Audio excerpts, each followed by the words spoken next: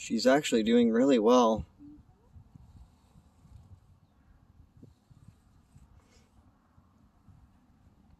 For a mare that's very iffy about her butt, she's doing good.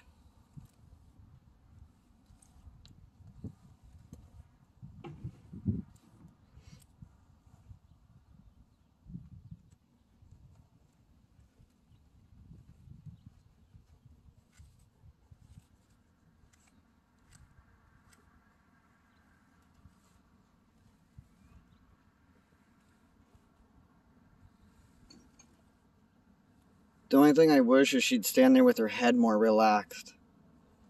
But I think that'll come with time.